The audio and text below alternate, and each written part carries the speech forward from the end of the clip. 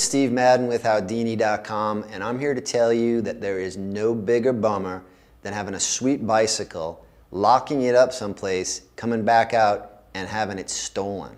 So today I'm here to talk about everything that you need to know to secure your bicycle to make sure that the thieves don't get it, because there's no bigger bummer than losing your ride.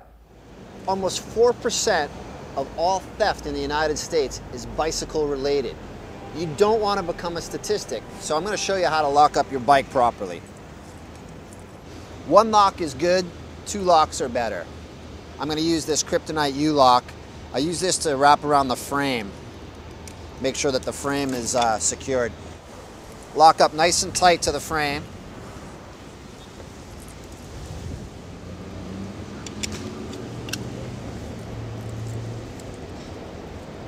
Okay, so now the frame is secured.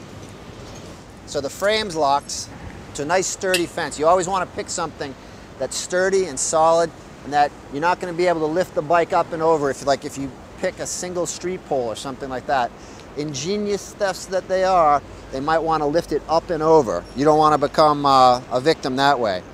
The second thing you want to do is take the cable and I run the cable through the spokes of the rear wheel and again around the frame.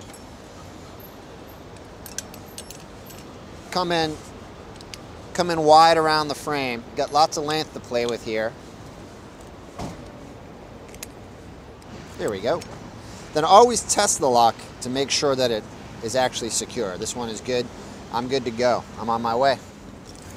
But what about the front wheel? If you have a quick release on it, like I have on this uh, Treviso, so I'm just going to pop it off, and it's coming with me.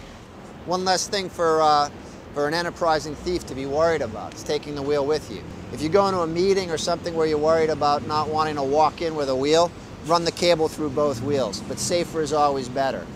So that's it. That's what you need to know, how to make sure your bike is still there when you come back.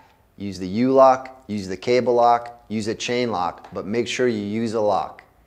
For Howdini.com, I'm Steve Madden.